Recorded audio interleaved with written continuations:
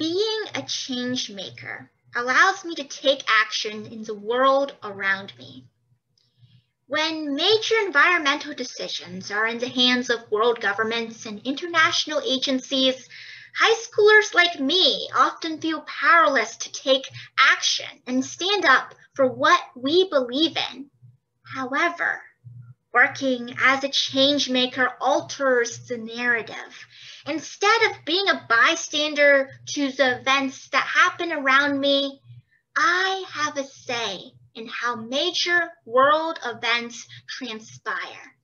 The actions I take might not produce results overnight, but they lay the groundwork for future projects that can then impact major environmental policies around the world.